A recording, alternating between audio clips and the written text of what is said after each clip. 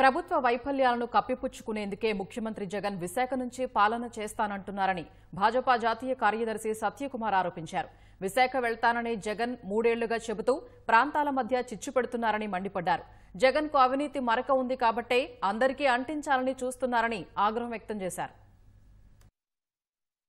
అమరావతి రాజధానిగా ఉంటుందని ప్రజలను నమ్మించి తర్వాత మూడు రాజధానుల పేరిట ఈ ప్రాంతాల మధ్య విద్వేషాలు పెంచి అటు రాయలసీమకు కూడా అన్యాయం చేస్తూ ఇటు అమరావతికి అన్యాయం చేస్తూ ఉత్తరాంధ్రలో కూడా రాజధాని పేరుతో నాటకాలు ఆడుతున్నారు. దానివల్ల ప్రాంతాల మధ్య వైషమ్యాలు పెట్టి ప్రధాన సమస్యల నుంచి ప్రజల దృష్టి మరలించే ప్రయత్నం చేస్తున్నారు. దాని ద్వారా తన వైఫల్యాన్ని కప్పిపుచ్చుకొని రాజకీయ లబ్ధి పొందే ప్రయత్నం జగన్మోహన్ రెడ్డి గారు చేస్తున్నారు మాజీ ముఖ్యమంత్రి పద్నాలుగు సంవత్సరాల పాటు ముఖ్యమంత్రిగా ఉన్న వ్యక్తి అవినీతి ఆరోపణల మీద అరెస్ట్ చేశారు. కానీ దానికి ఒక విధానం ఉంది. వాళ్ళు చెప్తున్న పదిహేడు ఏ విధానం ప్రకారం గవర్నర్ నుంచి అనుమతి పొంది ఉండాలా? లేదా ముందు ఫార్టీ వన్ ఏ నోటీస్ ఇచ్చి ఉండాలా?